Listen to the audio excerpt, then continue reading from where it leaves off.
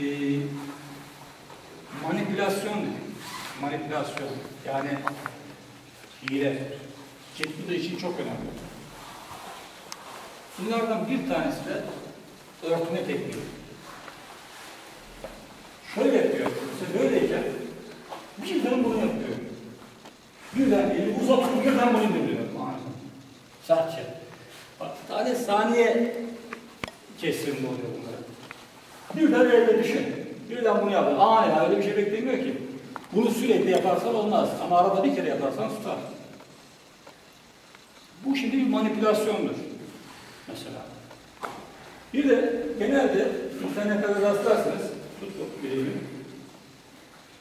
Asıl bileği zorla büker. Bük bu tarafa doğru bükmesini. Bu şekilde büker. Çevirmeye çalışıyor. Özellikle polislerde çok rastladığımız. Aslında şu teknikte biraz ileri itsek tekniği bakın. Bük. Bak biraz ileri itsek tam tersine bir durum söz konusu olur. Buna çapraz kilit diyoruz. Şimdi Hasan dedik ya, kırık mı tutuyor, gelik mi tutuyor, iki el aralıklı mı tutuyor, alt alta üst üste mi tutuyor, çapraz mı tutuyor, yan yana mı tutuyor, yan yana gelik mi, kırık mı? Az önceki o çaprazlar gelik mi, kırık mı? Bunlar hepsi önemli. Hepsi her şeyi değiştirebilir. Ve çift kişilik tekniklerimizde mesela birçok şey aslında çok basittir. Ben bir örnek vereyim müsaadenizle. Mesela kim gelebilir? Buyurun. İsim neydi? Efendim? Hidayetçi. Şimdi bakın, Hidayet Hazretlisi. Şöyle bir teknik vardı. Yani Çin'de falan. Çin'de de yakın dövüşlerin atası. Çin kökenli. Daha sonra Japonlar etkileniyor. Jiu-Jitsu'yu çıkarıyor. Oradan judo türüyor falan. Ama şöyle bir teknik var bakın. Bunu gördük. Bu var. Aslında bakın şimdi. Bakın bir araya olan iki kişi. Yaptığım aynı şey. Bakın. Yaptığımız aynı şey. Değişen bir şey yok ki. Bir elde yaptığımızın aynısını iki elde yap.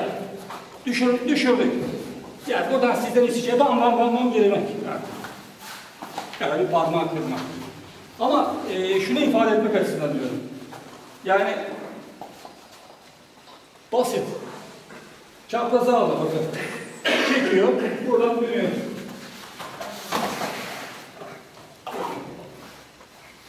Pozisyon bu. Basit değil mi? Fakat biz burada şunu hatırlatıyoruz. Diyoruz ki bunlarda bir göze girmek. Göze girdikten sonra bu daha kolay. Mümkünse önce bir göze vur. Ondan sonra çapraz almamız düzlüğü önemli değil. Şimdi aynı şey. Aynı çapraz.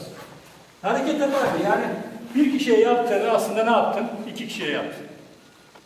Fark eden bir şey yok. Ay ikisellerin çok hoşuma giden bir tekniği vardır. Yakaya pençe gelir mesela. Bakın. Çok geçerli. Bayanlar için özellikle. Mümkünse de tek parmağı tutabilirsiniz daha. Bu da mümkün. Hayatı elinizde. Hiçbir erkeğin tek parmağı bir bayanın avucundan güçlü olamaz. Yeter ki ani olsun. Bazıları çok güçlü olabilir. Hani direnebilir ama ani yap bakalım direnebiliyor mu?